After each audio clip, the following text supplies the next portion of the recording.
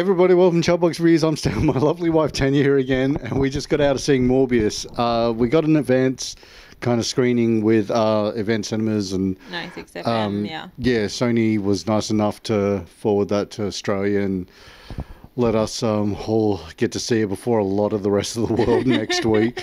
So um, if you're watching this now, it's this is seven days earlier. So pretty much, um, yeah, we just got out to see it. We're going to do a little spoilers free first, and then we'll bounce into a uh, spoilers. But all in all, like all the stuff we were hearing about, like oh, it's it's falls apart. Oh, it doesn't work. Oh, it's not really that good. I really like this. I think I that was such a misleading kind of Yeah. rumor that was going around saying, "Oh, Morbius is like not the critics aren't happy with it," and I'm just like, you know what? Yeah. I, I honestly think there's a lot of them out there that are either being like, "Oh, there's not enough representation. Oh, there's not enough of this or that. They Yeah. haven't put any activism into it." Whatever. Okay, this this was fun to watch and It was a comic book movie. yeah, and, and that's the thing. I, I don't think we can lean on that and be like, oh yeah, well, you know, comic book movie and stuff. I think we can just say like, this was an experiment with a you know property that hasn't like.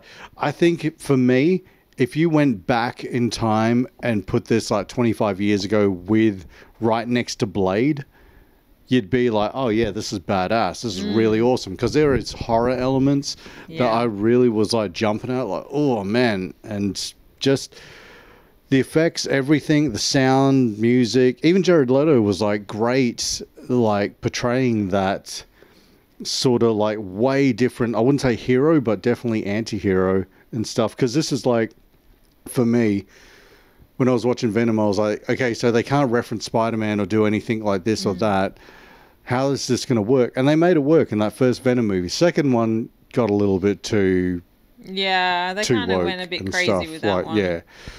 So, pretty much, um, what did you think of like you know cast wise and kind of pacing and everything? Yeah, well, first off, damn, loved this movie.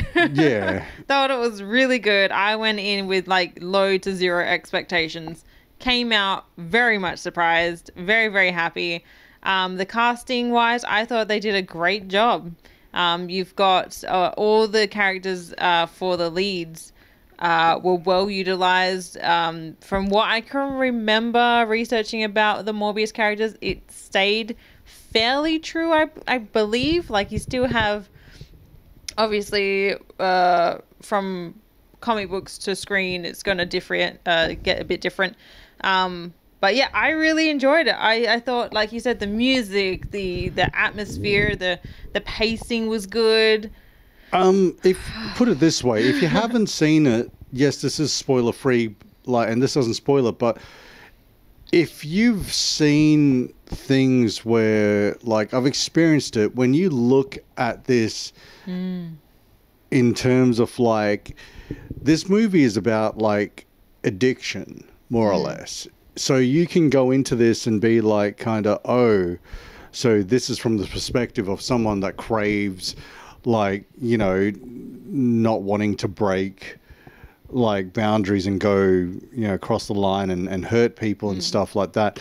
So this is like when you watch Blade and you go, oh, so he's got to suppress that side of him and stuff. With this one, it's just like a constant battle, but it's also too, it's like, man, I set out to do something good. you could and almost say angel-esque from buffy yeah, a little bit of that element the in there. moral compass of angel um, they still tied in, I think, nicely into the Marvel element of like, well, you know, it's not one of those, oh, sunlight kills me or anything like that. It's just kind of like, no, there's a science to it. They they ground it in like, well, this is what happens and this is how we um, get this whole kind of journey to go on. I think Jared Leto embodied it really well. yeah he did a really and really good job It was really kind of strange for me because I was What's that going. other actor's name Um, he played. He was one of the He was- doctors. yeah, he was- and he was also in. Um, I think it's The Crown? Yeah, The Crown as uh, Prince Philip. Yeah, Philip. But um, yeah, he's in this. He did a great job uh, without spoiling it. But Yeah, the lovely young lady did an awesome job as well. I Yeah. thought she brought a lot of heart and emotion to it. she was cool. Um, but like, other than that, because you do have um, Tyrese Gibson in it, and oh yeah, he yeah. doesn't he doesn't do too Doesn't- much. Doesn't do too much at all. It's just it's more or less like if you could have an extended cameo where it's just cameo, cameo, cameo, cameo. He doesn't really do too much apart from like yeah, just don't don't blink anytime he's got a scene because it's just sort of like eh. like you could have edited him out of it and it wouldn't have changed the movie in my opinion at all. Mm.